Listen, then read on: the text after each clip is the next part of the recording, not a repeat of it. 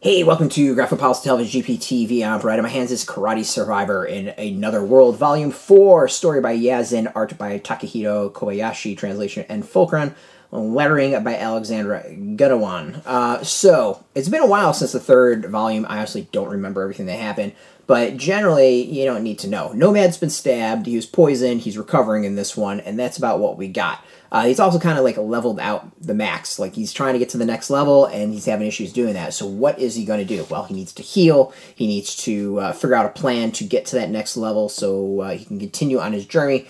Um, so it's it's an interesting issue. Um, the other thing is that there's clearly people that are out to get him. Um, and he has to figure out why this is going on. And I think the, the results are actually really interesting. They're going to drive a lot of story going forward, which is kind of cool. Uh, so this is actually a pre- very interesting manga in that it is, you know, kind of wraps up or ties into the previous story arc that was going on, and then kind of sets up a lot what's to come. It's, it's almost a bridge in some ways. It's really, really good.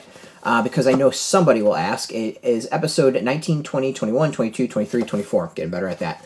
Um, and it's it's good. Like it's it's really really good. I'm loving this series. I mean, I, there's so many of like I died and went to this other world with blah blah blah. This one works out really well. I think partially because it takes you through the logic of a lot of things. The characters are kind of interesting. Watching this person try to figure out this world as we figure it out is, is cool. Uh, and it throws in something a little bit different. I mean, karate versus like swords and fantasy is a kind of a cool concept. The other thing I really like is in between each chapter, there's like notes from the author um, kind of the thoughts that have to do with the previous chapter and ties into it, which I think is actually really, really neat uh, and, and plays into things nicely. It's, it's a cool way to break up each chapter.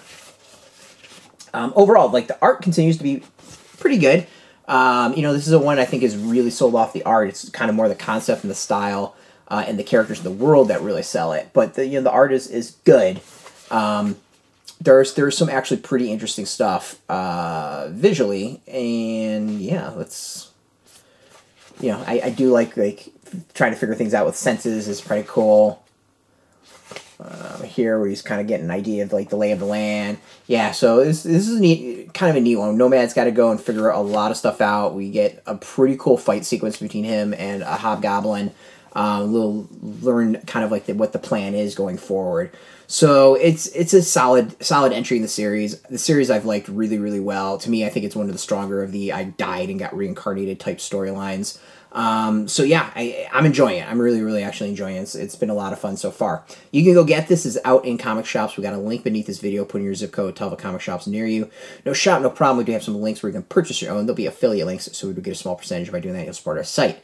Just watch our video to support us. So thank you for that. If you're into manga, comics, graphic novels, check us out every single day at graphicpolicy.com. We're on Twitter, Facebook, YouTube, Tumblr, Instagram, TikTok, Mastodon, all at Graphic Policy, keeping it nice and consistent.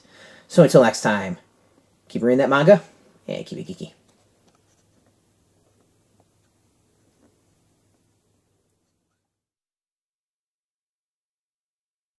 Hey, thanks for watching the previous video from Graphic Policy Television. Just by watching, you help support our site. Thank you so much. Now, if you're watching these videos, you probably care about geeky things like movies, television, comic books, toys, games, video games, you name it. You can go and subscribe right now to our YouTube channel to stay in touch and catch all the new videos, or check out our website at graphicpolicy.com. There's a nice link on this end of the video. But as always, thank you for watching. Keep on rocking and keep it geeky.